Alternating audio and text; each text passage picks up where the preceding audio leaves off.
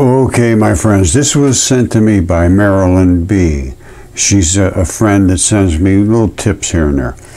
Now, this is from Quantum Magazine and how cells use bioelectricity to coordinate and make group decisions.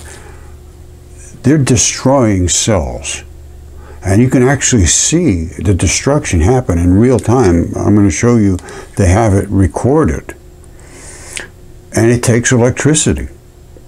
And the electricity, I'm going to tell you right now, is generated by these enzymes. And it, it's it's instantaneous. It's not like it's taking a little while and a little longer and a little, it's done. That's how an enzyme works. Enzymes are created by bacteria. If you don't have the bacteria, you may take longer for that to work or it might not work at all. Let's take a look at what these things do to expel unhealthy cells. This is just electricity, all generated by enzymes. All right, let's just watch this. Boom, done instantly, and it, it, the cell dies. Its cellular membranes are destroyed. How that was targeted, why it was decided that that one should go, I don't know.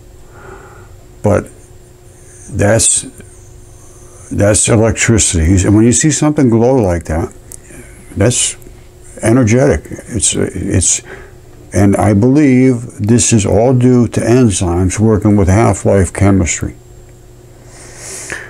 and um, attacking the membrane and killing it.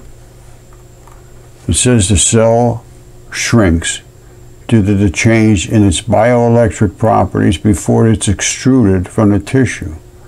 Lightning flash represents a change in light reflection as the membrane is depolarized and water exits the cell. It's killing the cell by an electric discharge and I virtually all things that happen that quickly happen due to electric movement of particles, whether it's lightning or static or electricity. It's an instant flush of these little white particles. Look, I'm an instant flush. And that's that's an electric discharge to that. Now, something in here is what they call a trigger. And a trigger sets off these ribosomes and they flush from that trigger. So there's some trigger. What it is, I don't know. All right, I'm just going to run through some clips that I took, and I think it might be this spot right here. There's a loose junction. Cells are supposed to have tight junctions. Now, I'm just going to show you what I did for clips off of here.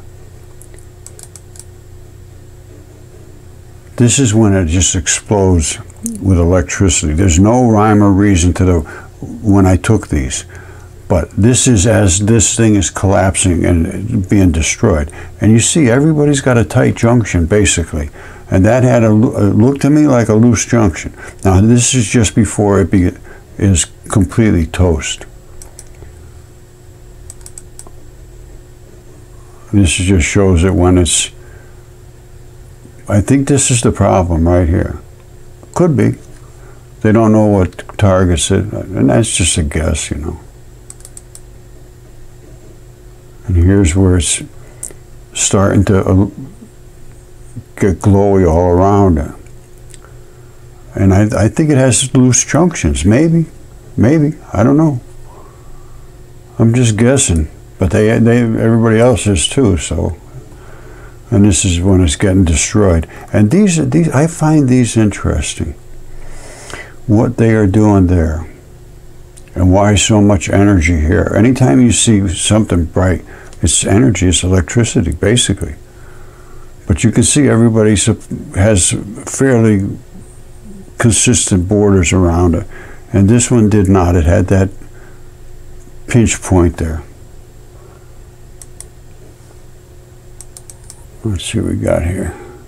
That's nothing.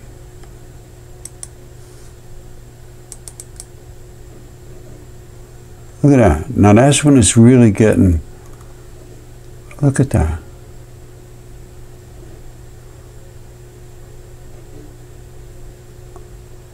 What that's all about, I don't know. But it's definitely setting up some kind of a, a border around here to say, all right, chop that thing out of here. And I think this might be the, the point that it was decided that it's, the cell's not going to hold up. It's, it's dying or whatever. And they want to get rid of it. Maybe. All I can say is maybe. And here it is again being attacked just at the moment of its being totally consumed by its whatever is consuming it. I don't know. There's a lot of chemistry going on here instantaneously. And when you read how much an enzyme can do to increase the energy, it's just staggering. I see here is this. It's the only thing I can see. I don't know. And these guys came running in as conductors or something. And after that, it went poof. And that was the end of that guy. So, very interesting. At that point, it's total. Now, what happens then? Somebody's going to have to clean that mess up because it just collapses. And I, I would think that's debris. These are my maybe the guys waiting to eat up the debris. You know, that could be. That could well be. All right, watch it when it collapses. Watch this bump. You see that bump? Bumps right into these guys here. Is that involved? I don't know. Is there some attraction? Obviously. Some bump bumped it over there. I, I don't see it anywhere else.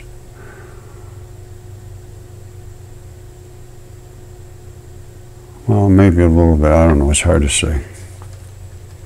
Okay, this is kind of a great article, and this is Elias. And he's shown that frog embryos generate electrical fields to guide cell migration. All right, so the cells have to get these fields to drive them one way or another to get to where they're supposed to go, apparently, cell migration the study of bioelectricity, formerly stranded in biology's backwaters, is coming back like crazy, he said. Now, what's bioelectricity? Well, I showed you their their energy, you know. Uh, well, I guess I didn't show you about the frog legs and so forth, but you can you can inject energy, uh, electricity into frog legs, and they'll they'll twitch and so forth because the the um, nerves are driven by electrical changes. And what makes the electrical change? There's something in your body, and especially in the heart. There's a heart rhythm section in the cells somewhere that tells them I'm supposed to go off every such and such and so, and um, and then it probably changes based upon the oxygen level, meaning how much you're working. Your heart starts to pump harder. It's, it's very very entangled. But anyway, this guy uh, Gal- Galvani, all right, proven was proven wrong in the details. He wasn't totally off virtually every cell on every branch of the tree of life expends a hefty chunk of its energy budget, in some cells more than half, on maintaining a voltage across its membrane. Well, that's a minor detail. You're going to have a voltage across that membrane. You're going to have, it's a uh, hydrophilic and hydrophobic, I think they call it, where it's, it's a polarity basically. Now, the voltage, I don't know. The that I don't care about. I care about understanding the membrane. How important is that membrane around that cell? And it is important, very important. All right. Um, but he's talking about the voltage difference that results called the membrane potential, stores potential energy that can be released later. Well, it's storing ribosomes because ribosomes are the things that do the energy. They're the, they're the catalysts. And a catalyst is what you need to provide you with the energy. But you have to have the product there for the catalyst to work on. And a catalyst works instantaneously. And when I say instantaneously, I mean instantaneously. You know, I got to be honest with you, I have no idea about this voltage difference across membranes, but there is going to be hydrophilic and hydrophobic. One repulses water, one attracts water. And I do know this there's going to be a fluid filled highway there that is going to have a ton of energy, potential energy in it, because it's going to have the enzymes.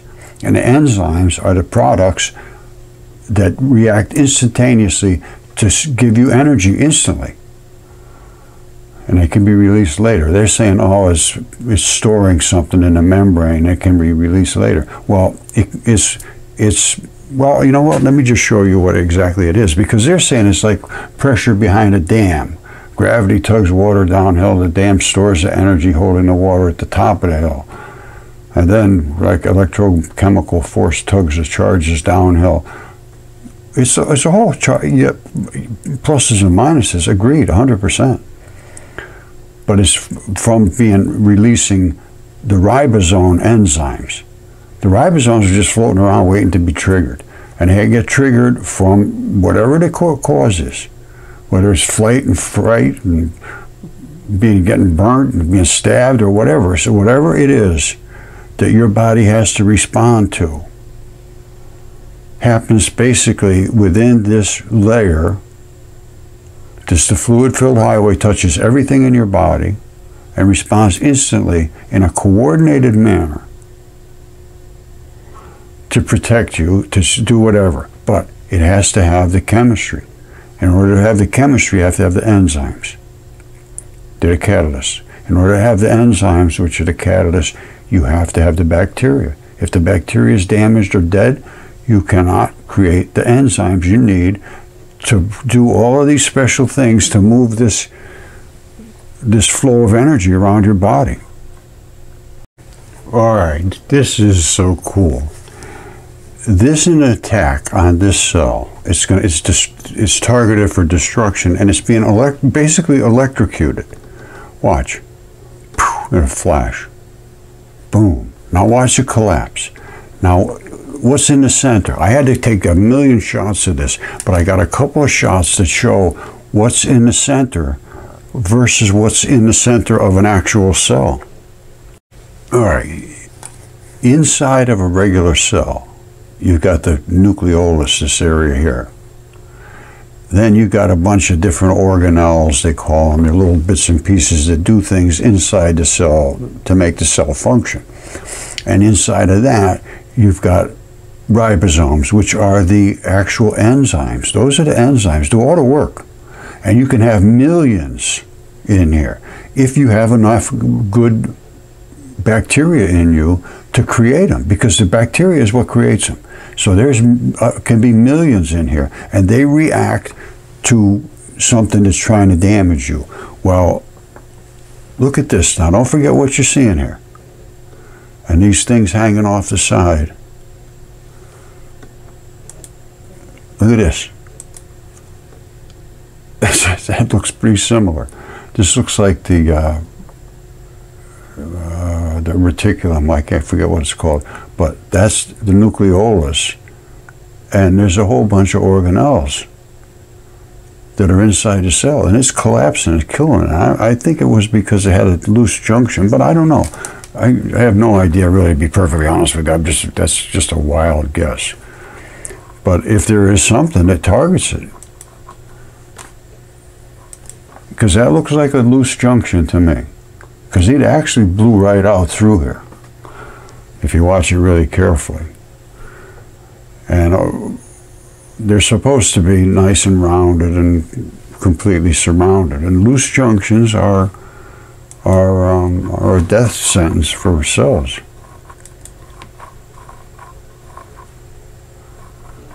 It's like you have this like breaking a piece off of here and squirts in and out or whatever happens. And I think these guys might be the cleanup crew.